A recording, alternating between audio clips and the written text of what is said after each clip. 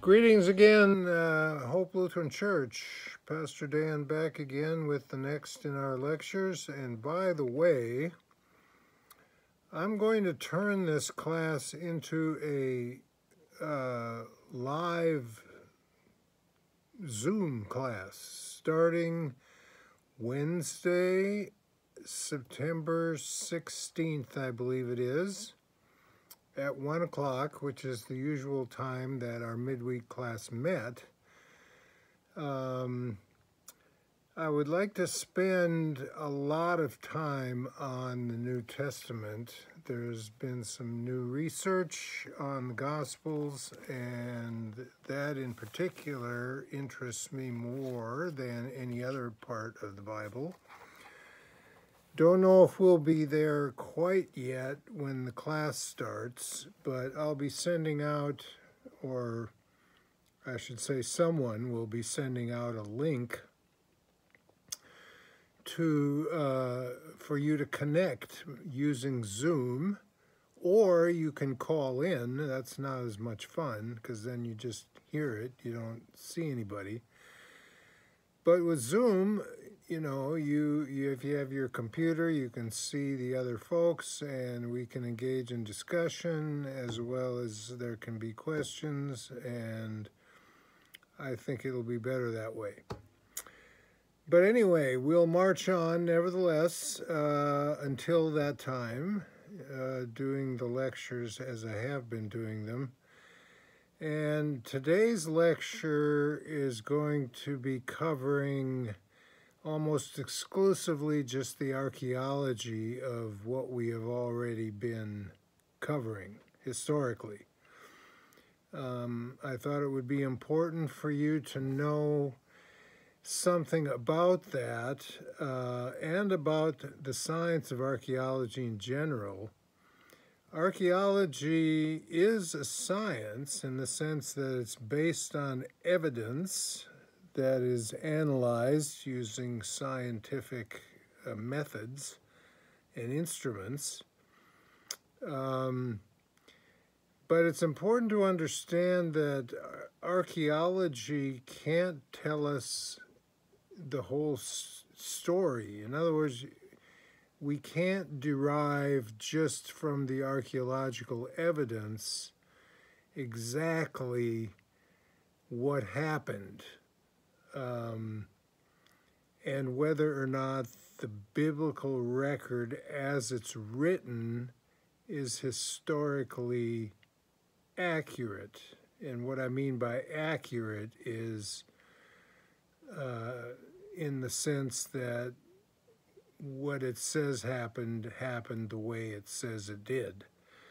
Uh, you know, the biblical record was written for reasons other than to convey history for history's sake.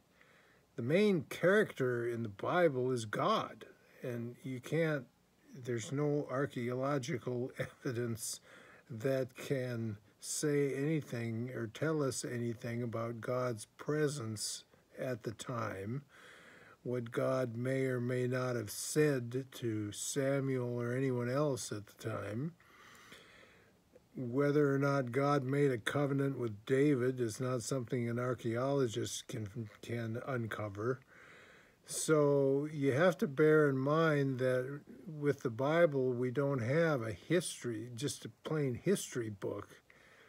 We have a book that is intended to be uh, um, revelatory of the God of the ancient Hebrews, who indeed, uh, when we get to the New Testament, who indeed did appear in the form of a human being. Um, but we haven't gotten there yet. And there is evidence, I think, that Jesus was who we think he was. That is, when I say we, I mean Christians. Um, I think the evidence is really rather overwhelming that he was who we think he was. But in any case, um, we are uh, not there yet. Okay, last week we covered the period of ancient Israel of the United Monarchy, or I should say, we did simply a synopsis of it. We didn't do a lot of detail. Uh, the biblical record tells a story of uh, major conquests under King David. In fact, at the end of David's reign, according to the biblical record, the kingdom of the Hebrews extended from well into the Sinai Peninsula, the desert there that they wandered through on their way to the Promised Land under Moses, that it extended from there all the way up to just south of Aleppo in uh, modern day Syria that is a large piece of territory. Um, moreover, according to the biblical record, under King Solomon, David's son, with Bathsheba, the woman with whom he committed adultery, um, uh, according to the biblical record, the kingdom of Israel became extremely wealthy. That Solomon was a man of great wealth. He had an enormous harem. Um, he had a large army. He built, you know, all kind. There were all kinds of building projects, and he had the respect of all the rulers in the regions. In fact, it is said the Queen of Sheba actually came and visited Solomon at one point.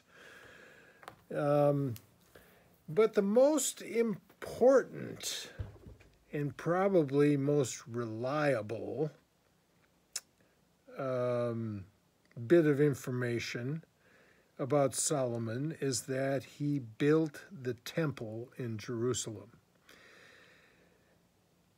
every generation since has acknowledged that it was Solomon who built the temple, that there was an, there was a temple there, and that it was Solomon who built it. So I don't think there's any doubt about that.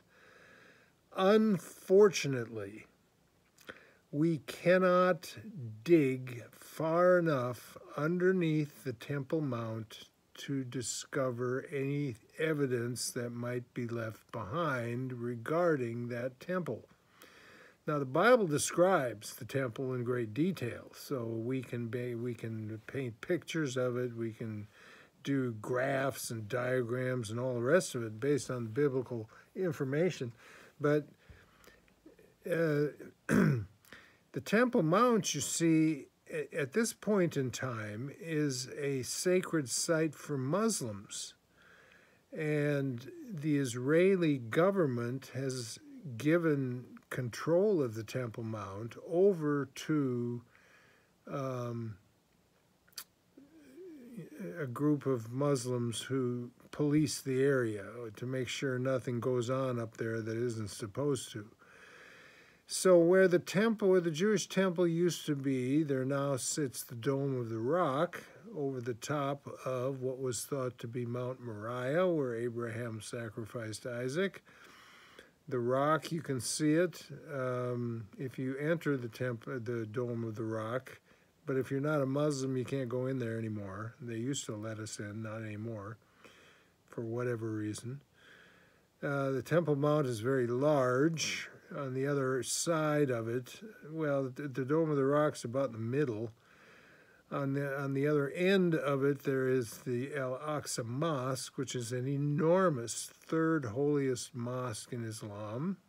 It's enormous. There again, people, non Muslims, used to be able to visit the Al Aqsa Mosque, not anymore.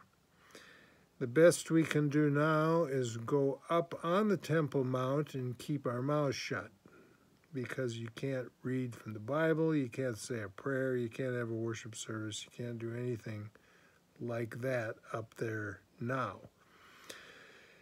But in any case, uh, with respect to archaeology, because it's a holy site, there's no digging allowed underneath the Temple Mount which is where, if there was anything left of the temple, where it would be. Recall that Solomon's temple was destroyed by the Babylonians in the 6th century.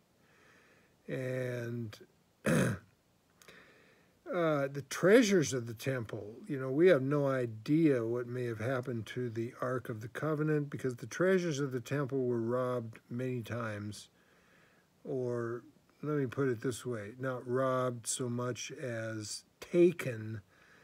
Um, for example, Remember, we left off with King Rehoboam in Judah last time.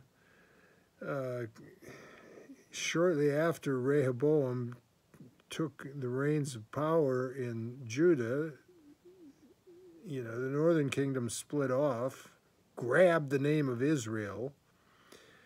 Uh, and so the southern kingdom of Judah, Rehoboam was uh, reigning there, and it wasn't long thereafter that the king of, or the pharaoh, I should say, of Egypt laid siege to Jerusalem. And in order to get rid of him, they had to pay a ransom, which took all the treasures of the temple. So off they went with Shishak or Shoshank or however you want to pronounce his name. I think that's the guy that uh, in Raiders of the Lost Ark, the theory was he took the, the the Ark of the Covenant and buried it in Egypt, and of course, um, what's his name again? Um, Indiana Jones. Indiana Jones found found it there. Um, that that that's the theory anyway. Well, we'll never know because we can't dig underneath the Temple Mount. So that makes uh, evidence with respect to Solomon's Temple impossible to gather. So, um, uh, however, uh, we do have information relating to Jerusalem. Not a lot, because bear in mind, Jerusalem is still a city, it's still there. Uh, it's been rebuilt, as I said several times.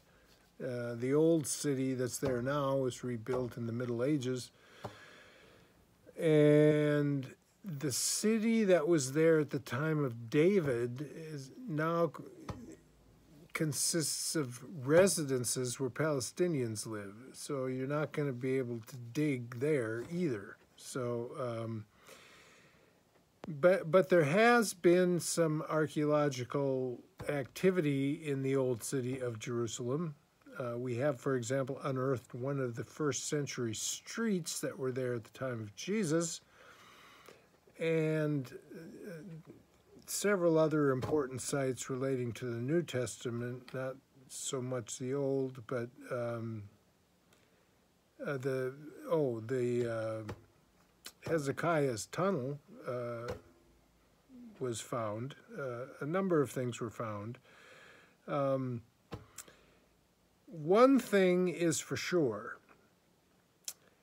Um, what we have been able to discover about Jerusalem this far back, we're talking now around the turn of the millennium, 1000 BC, is that it was definitely not a city.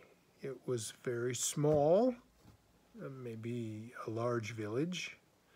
Um, and uh, it, so, you know, the idea that David conquered this large city and turned it into a, a major capital with a large population is out of the question. It was just a small settlement at the time. Um, uh, some more about that in a minute, but before I get to that, I want to say something about the science of archaeology because not all archaeologists agree, as there is different schools of thought in other disciplines, there's different schools of thought in archaeology as well. Uh, there are basically, I think, three. I'm not an expert on this subject, but what little I've read, three basic schools of thought. First being the minimalists. And minimalists are called minimalists precisely because they believe in a minimal amount of what's in the Bible. Um, when it comes to David and Solomon, the minimalists believe that they didn't even exist, that they were just created out of whole cloth by authors later in time um, for their own reasons. There was no such person as David or Solomon. Um, these are legendary figures. Um, the minimalists come from the University of Copenhagen in Denmark. Um, probably not surprising. It's kind of cold up there. It can be difficult to concentrate in that cold weather, and you might get confused from time to time. I have a lot of experience with that because I came from North Dakota, so I know what it's like to be in cold weather. Um, I don't think the minimalists have much to offer. I'm not sure exactly why they believe what they believe because the evidence would suggest that they are dead wrong. So then the question becomes, well, why do they believe? Why do they disbelieve in all of this? Um, some people have accused them of being anti-Semitic. I think that's probably not fair because we don't have any other evidence of them being anti-Semitic. But um, nevertheless, this particular school of thought I'm not going to give much time to because I don't think they have anything to offer that is of any value. Um, perhaps it's not unusual for this school of thought to come from Denmark or Scandinavia in general, since Denmark and Scandinavia in general has become basically bastions of secularism, and the churches up there are. Uh, there's not much life left there. Um, so, uh, you know, uh, Soren Kierkegaard, who was also Danish, as most of you probably know, uh, back in the 19th century, he didn't think there was much Christianity in Denmark then either. Uh, and there certainly isn't now. But in any case, um, uh, the, that's the minimalists, okay? They, they don't think any of these figures even existed. Um,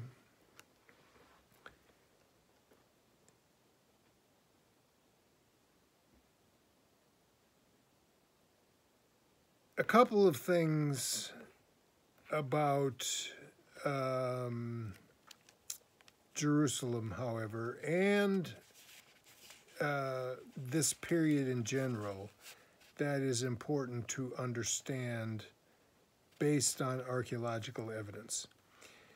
Uh, I already mentioned that it was a small city. The other thing that's important to understand is that the region that comprised the kingdom of Judah is mostly desert. Uh, during this period of time, it was very sparsely populated. There, it, it didn't have land for farming, uh, so that it was mostly pastoralists, sheep herders. The villages were very small um, as a kingdom, Judah would have been extremely insignificant, very small, very small population, um, not much to it. So, um, you know, it could be that some of the uh, information related to Solomon may be embellished. Okay, it certainly wasn't this lavish place that um, people think of when they think of Solomon. Uh, a couple other things related to him, you know, uh, Solomon is said to have been have built large stables for his chariots and horses. He had a big army, according to the Bible.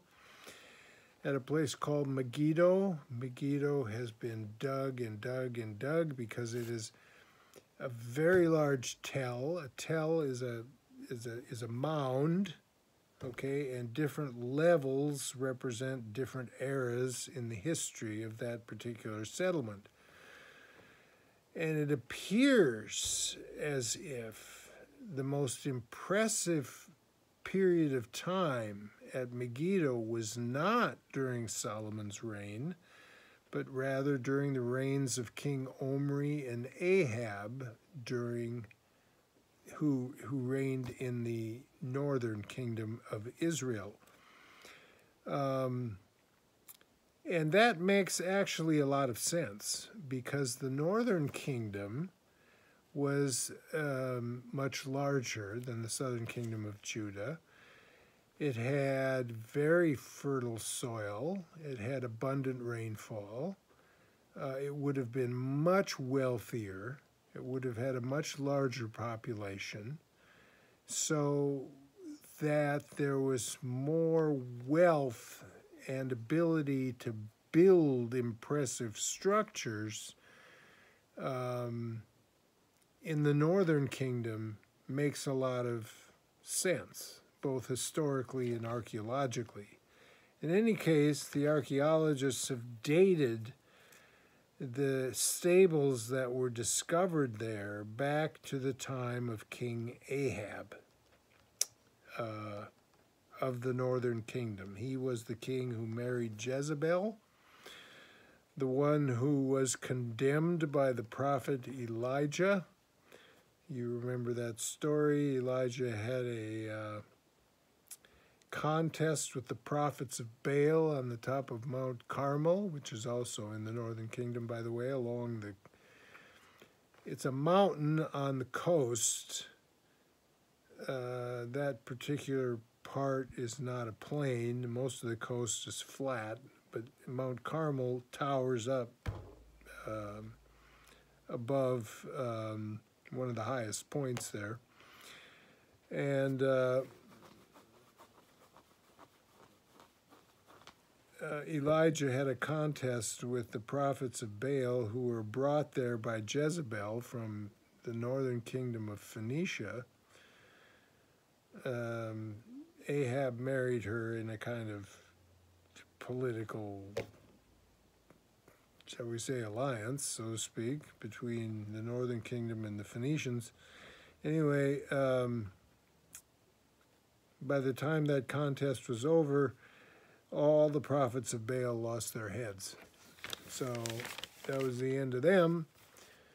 Elijah fled into the desert. Eventually, he ended up down at Mount Sinai or Mount Horeb, as it was called in the northern kingdom.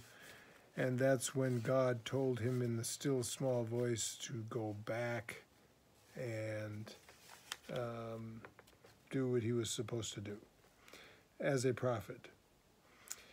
Okay. Um, in any case, given the fact that Megiddo was probably at its apex uh, at the time of King Ahab, um, we are not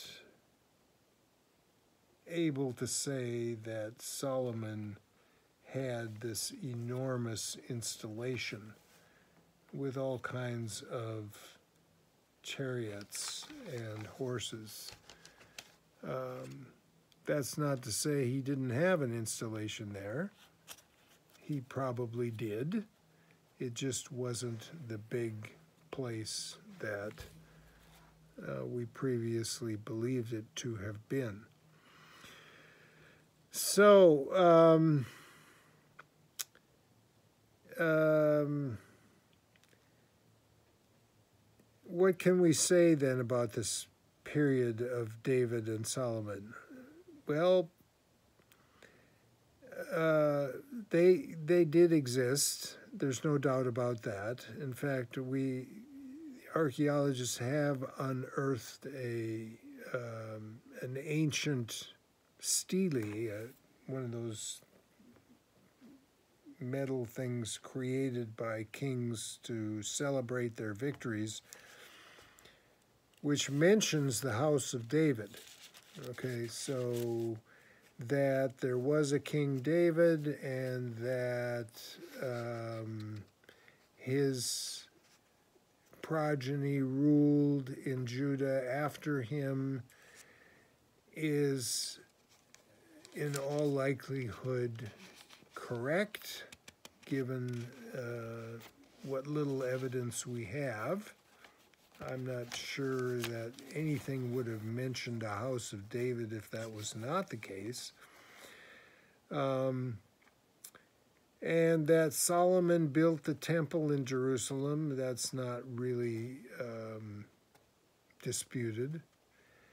So these kings did um, rule and um, they were there. It's just that the kingdom probably was not as large, certainly not as wealthy, and they may not have been the absolute rulers that are uh, portrayed in the Bible. However, let me say once again that archaeology, in and of itself, can't confirm or deny that. Uh, all we can say is that the evidence that we have thus far does not confirm it.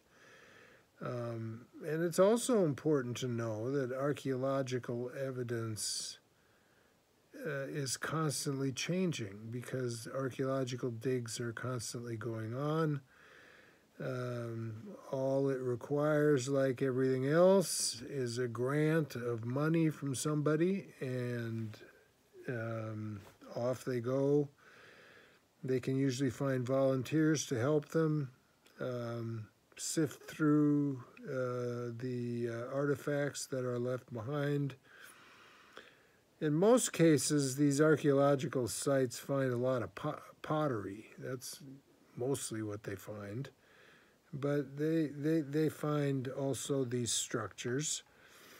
Um, I do want to mention that there is a city in the south uh, of, uh, it would have been in the kingdom of Judah when there was two kingdoms called Arad. I'm not sure if I'm pronouncing that correctly one of the southernmost outposts uh, of the kingdom, where both David and Solomon built a kind of citadel. Uh, that has been excavated, and that apparently has been confirmed. So, so that, so we have that, um, and um, um, that's about, oh, and there is one other place as well. Recall when King Saul was fighting with David. Uh, they found each other uh, at a spring near the Dead Sea called Ein Gedi, which is a, a place where they grow date palms now.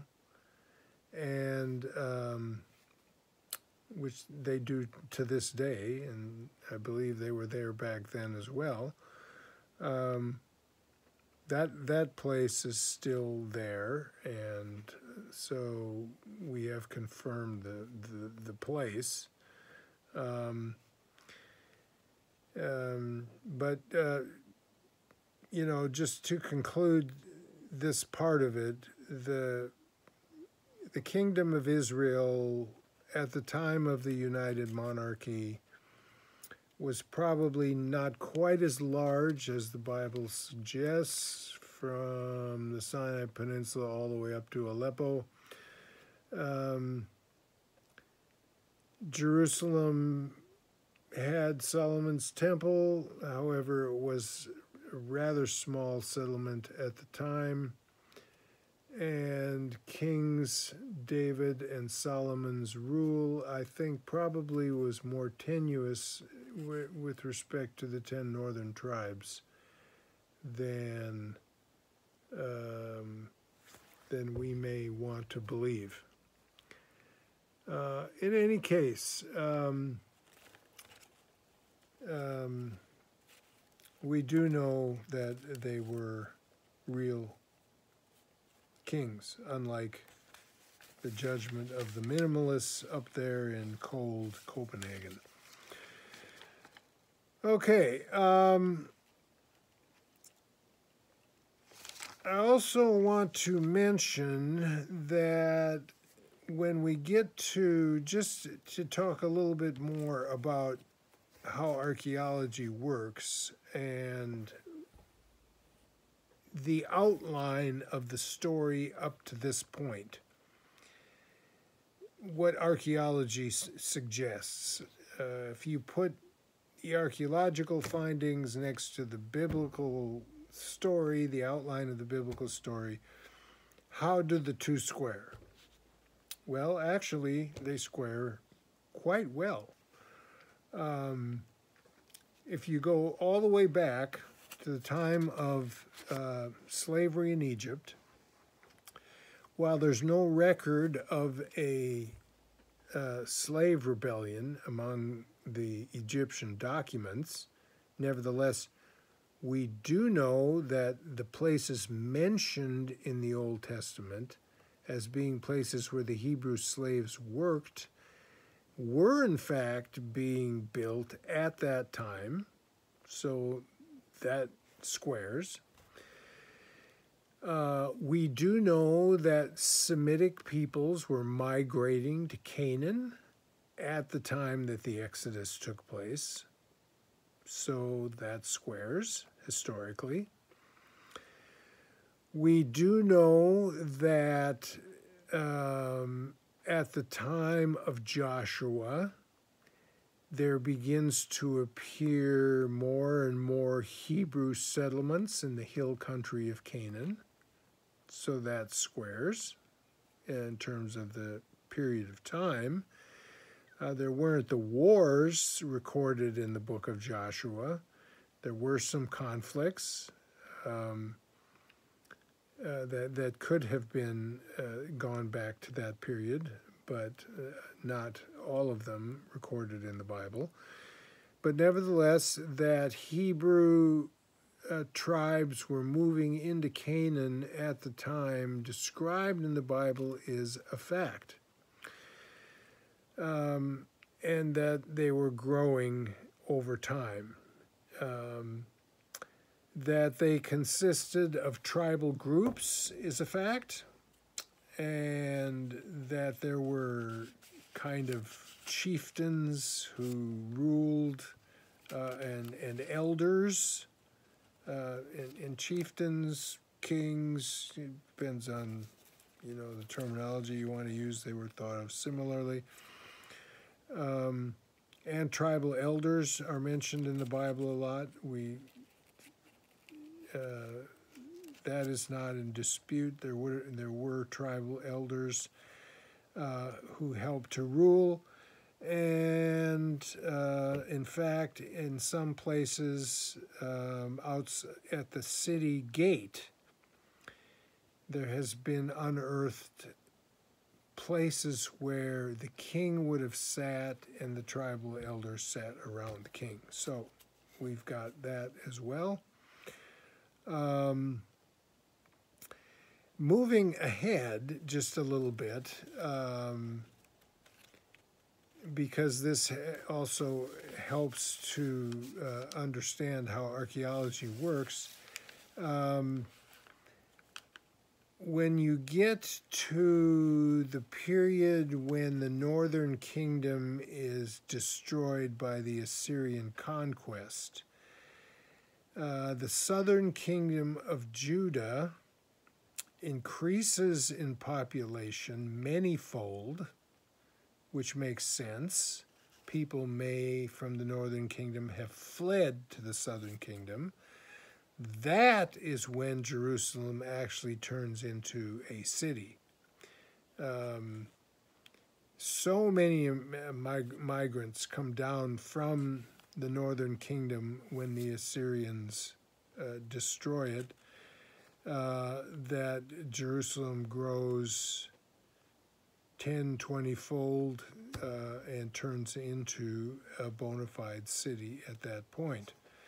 And the kingdom of Judah becomes a respectable kingdom um, uh, at, at, this particular point in time. Um, also, interestingly, um, when the Babylonians uh, laid siege to Jerusalem before the fall of the southern kingdom, the Bible records that the people were reduced to eating grass because they couldn't get food into the city, right? So, did that really happen? Well, turns out it did because some archaeologists uh, investigated the ancient privies and discovered that, in fact, the people were eating grass. Um, I mention that simply as by way of demonstrating how archaeological evidence can help us to um, verify much of what's in the Bible. Um, there's no reason to believe that the basic outline of the history as it's recorded in the Bible is the way it was, um, with some um, revisions, of course, but the basic outline is uh, as it was, I believe, anyway. And um, um, it'll be interesting to watch in the future um, as more archaeological digs are uh, engaged in uh, to uh, find out more of what um, can be confirmed. One last thing uh, I would like to also mention this is related to the New Testament. Uh, many people didn't believe that there were synagogues in Galilean villages at the time of Jesus. Uh, that was believed up till very recently, uh, for whatever reason. I'm not sure why. Um, but uh, only a few years ago, the area that consisted of Magdala, where Mary Magdalene came from, was purchased by a group, church group, I think. And they excavated it, and what did they find? They found a synagogue from the first century that was standing there at the time of Jesus. So you can see uh, the storyline uh, in the Bible. Um, you have to, with archaeology, you have to take it with a grain of salt, especially when you consider the fact that the evidence is only spotty and that more will be unearthed as time goes by. So, um, um, in the end, the important thing is to understand that the Bible is not just about ancient Israel, it's about ancient Israel's relationship with God. And the God who is revealed in the text of the Hebrew Bible, as well as the New Testament, uh, is the main point of the story. Okay, that's going to take care of it for today. Next time, we are going to pick up And we're going to move fast through the kings, but we're going to pick up the reigns of the kings of Judah and Israel up to the conquest of the northern kingdom and into the period of King Josiah, who was perhaps the most important king of the southern kingdom in its history. Okay, that's it for now. Take care, everybody. See you next time.